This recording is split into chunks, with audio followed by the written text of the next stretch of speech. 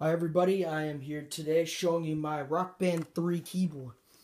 Now yes, this is a keyboard for Rock Band 3. Um, It's got the same like orderly buttons as like the guitar, but this section is red, is for red notes. This section is yellow, and um, this section's blue notes, this section's green notes, and then there's this one note that's orange. That's kind of pointless. But it's a pretty cool keyboard actually. You can put it on your lap, or you could put it on a stand, or you could just use it, sling it over your shoulder. There's a strap right here. This came with this in case if you want to sling it over your shoulder and make it a guitar, basically. Now, it's got this nice black button. I think this is for the star power. Or I think this might be, no way. These are, there's other buttons right here. Just scroll down. And then on the back, it's already got a battery in it, so it's good to go, and it's off.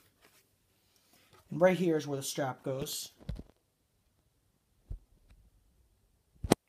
Right over there where it goes. And then um, over here is this is the stand for the keyboard. I got that in the mail as well.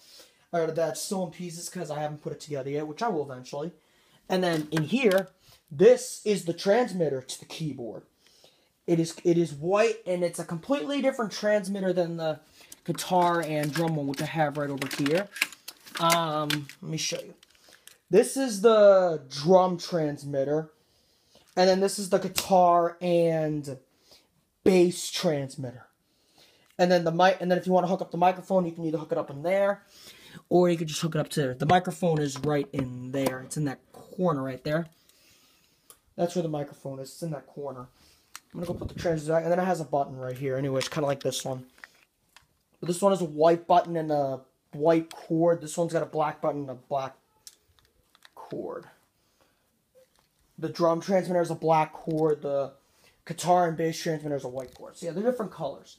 I'm gonna put them back in here because those are the transmitters, and then the microphone has a transmitter on the back. Well, not really, just a hookup thing. That's where you hook it up.